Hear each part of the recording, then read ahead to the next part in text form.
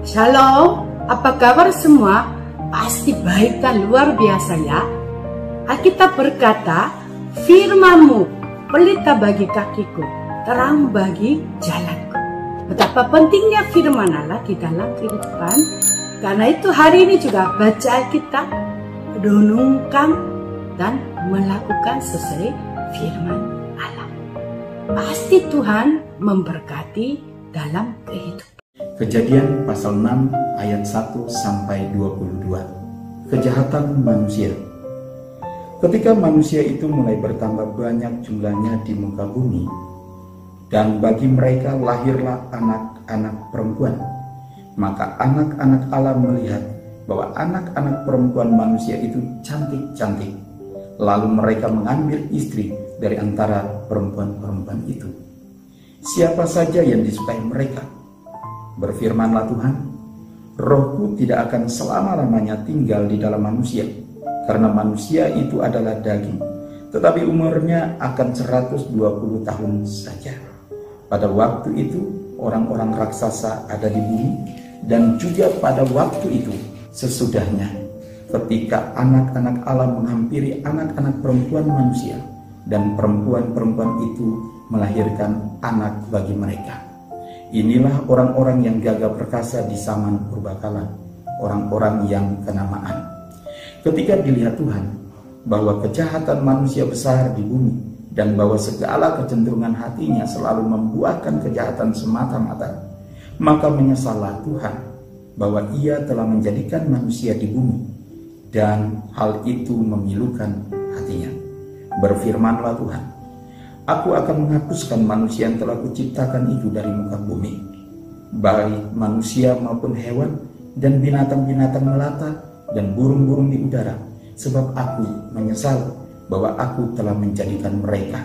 Tetapi Nuh mendapat kasih karunia di mata Tuhan. Riwayat Nuh. Inilah riwayat Nuh. Nuh adalah seorang yang benar dan tidak bercela di antara orang-orang sesamanya dan Nuh itu hidup bergaul dengan Allah.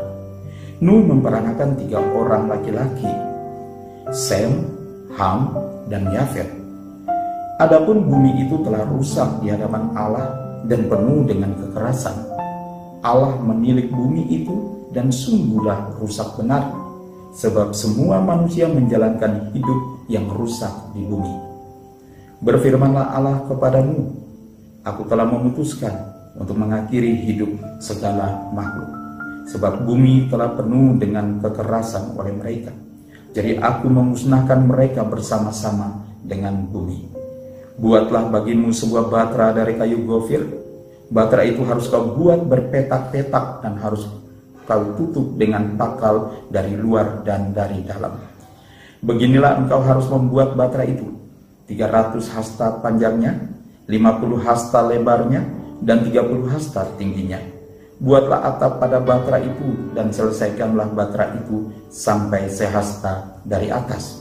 Dan pasanglah pintu pada lambungnya. Buatlah batra itu bertingkat bawah, tengah, dan atas. Sebab sesungguhnya aku akan mendatangkan air bah meliputi bumi untuk memusnahkan segala yang hidup dan bernyawa di kolong langit. Segala yang ada di bumi akan mati binasa. Tetapi dengan engkau aku akan mengadakan perjanjianku. Dan engkau akan masuk ke dalam batra itu. Engkau bersama-sama dengan anak-anakmu dan istrimu dan istri anak-anakmu. Dan dari segala yang hidup dari segala makhluk dari semuanya haruslah engkau bawa satu pasang ke dalam batra itu supaya terpelihara hidupnya bersama-sama dengan engkau. Jantan dan betina haruslah engkau bawa dari segala jenis burung dan dari segala jenis hewan, dari segala jenis binatang melata di muka bumi. Dari semuanya itu harus datang satu pasang kepadamu, supaya terpelihara hidupnya. Dan engkau bawalah bagimu segala apa yang dapat dimakan.